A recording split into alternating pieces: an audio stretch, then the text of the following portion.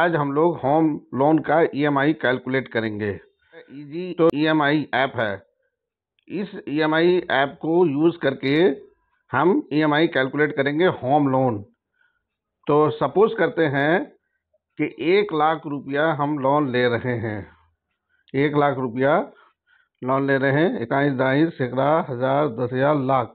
एक लाख रुपया।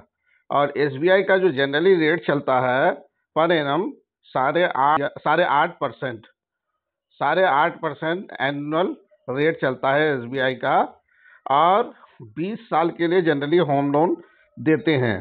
कोई पंद्रह साल का भी लेता है कोई दस साल का मगर जनरली बीस साल के लिए ही होम लोन बैंक देता है।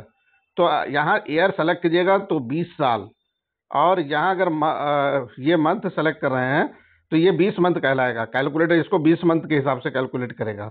मगर हम लोग लोन जो ले रहे हैं वो बीस साल के लिए ले रहे हैं तो ईयर सेलेक्ट करेंगे हम लोग। उसके बाद जो है कैलकुलेट ईएमआई वाला को क्लिक करेंगे। तो देखिए एक लाख रुपया का वो मंथली जो आपको देना है आठ सौ अड़सठ रुपया मान लीजिए। ये बिरासी पैसा को एक रुपया मान लीजिए। आठ सौ अड़सठ रुपया ईएमआई होगा। इसका मतलब ये है कि कभी भी आप अगर लोन ले रहे हैं तो किसी भी हालत में एक लाख का ये ई एम आई एक हज़ार से ऊपर नहीं होगा, चाहे वो कुछ भी इंटरेस्ट रेट ले रहा हो। अगर एक हज़ार से ऊपर ले रहा है तो यानी गलत ले रहा है। आप किसी और से कैलकुलेशन करवा लीजिए। आपके साथ धोखाधड़ी हो रहा है। तो इसका मतलब है कि आठ हज़ार आठ सौ अड़सठ रुपया आपको ई एम आई आएगा, आपका हर मंथ में देना पड़ेगा। अब रही बात कि एक लाख रुपया बीस साल के लिए साढ़े आठ परसेंट इंटरेस्ट रेट के हिसाब से आप अगर लोन ले रहे हैं तो जिस दिन आपका लोन ख़त्म होगा, उस दिन आप बैंक को टोटल अमाउंट जो पे करेंगे, दो लाख आठ हज़ार दो सौ छिहत्तर रुपया, जिसमें एक लाख आठ हज़ार दो सौ छिहत्तर रुपया या सतहत्तर रुपया मान लीजिए, ये आपको इंटरेस्ट देना पड़ेगा एक लाख का। अब रही बात effective rate of per annum जो लिखा हुआ है, इसका मतलब यह है कि एक सौ रुपया में पाँच रुपया इकतालीस पैसा पूरे साल में देना है और या पर मंथ की बात करें तो एक सौ रुपया जो बैंक का आप रखे हैं, उसके बदले में जो आप दे रहे हैं बैंक को, पैंतालीस पैसा दे रहे हैं। इसका यही मतलब होता है, सिंपल मीनिंग यही है कि अगर एक सौ रुपया के बदले में पूरे साल रखने के लिए पाँच रुपया इकतालीस पैसा और पर मंथ पैंतालीस पैसा आपको देना है।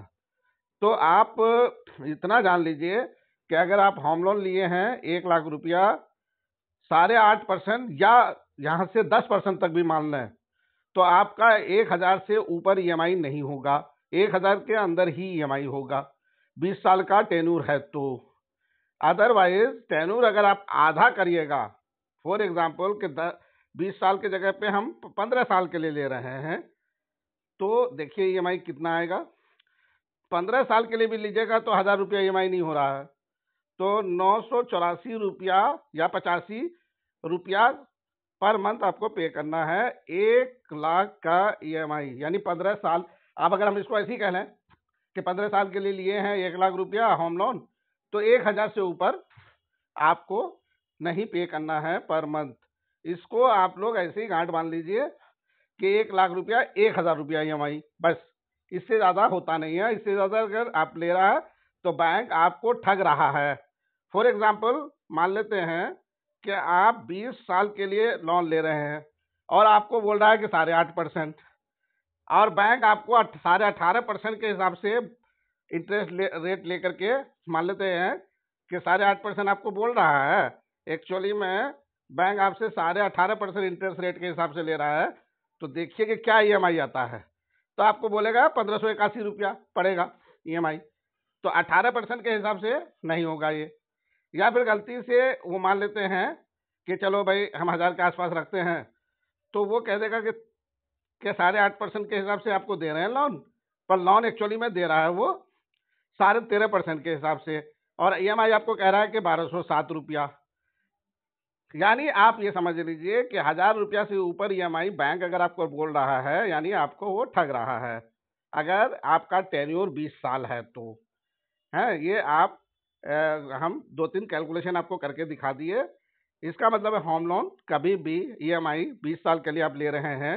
इंटरेस्ट रेट जो होम लोन का सरकार के द्वारा दिया जाता है इंटरेस्ट रेट उसके हिसाब से कभी भी हज़ार रुपया से ऊपर नहीं जाएगा बीस साल के लिए।